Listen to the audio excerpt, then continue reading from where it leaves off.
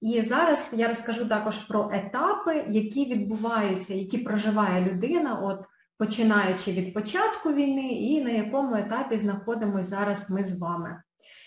І так коротко загально про те, як війна впливає на психіку. Так? Всі ми 24 лютого були просто шоковані. Це була стадія шоку, виживання такого, Можливо, у вас навіть е, такі, така включилась фаза, що ви як не пам'ятали, що ви робили, якщо, можливо, хтось виїжджав, не пам'ятав, як збирав речі, тобто все в такому, як в тумані. так? Вам могло не хотітися їсти, спати, і це нормально. Оцей режим шоку, режим виживання, але психіка вона не може в цьому режимі жити постійно, тому що це дуже енергозатратно.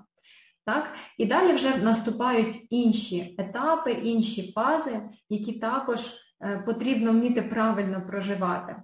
І згадайте піраміду Маслов, я думаю, що багато хто з вам, з вас чув так, про цю піраміду. От е, Це базові потреби людини. Так? На основному, на фундаменті самому цієї піраміди знаходиться самі такі базові потреби, без яких людина взагалі не зможе жити. Це їжа, це вода, це сон, так, це дихання, кисень, повітря.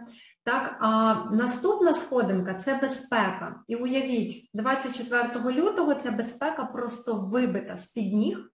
Так, І всі в такому ступорі, в такому шоці. Тому для людини це дуже такий великий дискомфорт, дуже великий шок і стрес. Так? І треба дійсно вчитися з цим справлятися, жити далі і відпускати негативні емоції, які час від часу з'являються і потрібно правильно їх проживати. Е, потім наступає фаза після режиму виживання. Оцей режим виживання він був всього-навсього декілька днів, так? коли не хотілося там їсти, спати.